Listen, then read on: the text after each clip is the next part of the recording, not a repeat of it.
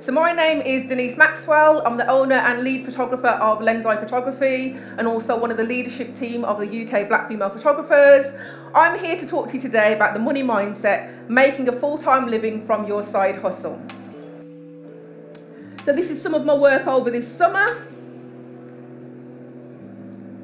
And then some celebrities and public figures.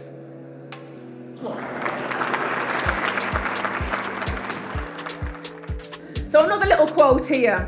Better photography is practiced and not purchased. Work with what you have. If you have whatever camera, you can start to earn money from whatever whatever you actually have.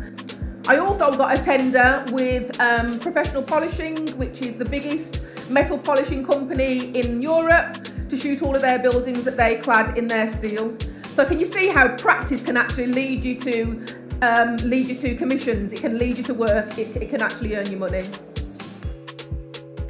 So I call these my dream career, highlights. So this is one of my, my dream career highlights, shooting Obama and President, um, shooting Obama and Cameron. It seems like a really historic moment. moment. So you can imagine when I got a call from one of my agencies to say, Usher is at the Academy of Arts and we need a photographer to cover him. I was ever so slightly excited, ever so slightly, just a little bit. Has anyone ever heard, heard the quote, it's not what you know, it's who you know? Who's heard that quote?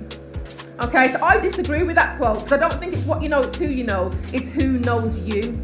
Because who knows you means that when people are in a room and you're not in that room, your name gets mentioned. So these are some of the steps that got me here. As I said, online portfolio, networking, giving back, goals, practice, investment, creating and pursuing opportunities, building transferable skills, developing multiple streams of income, noting your achievements, finding your tribe, and pricing for profit. So I'm going to end on this quote again that I started with at the beginning. You left your good, good job your tech picture. Yes, I did, Nan, and I think if you were with us today, you'd be telling people your granddaughter takes pictures and left her a good, good job to do that.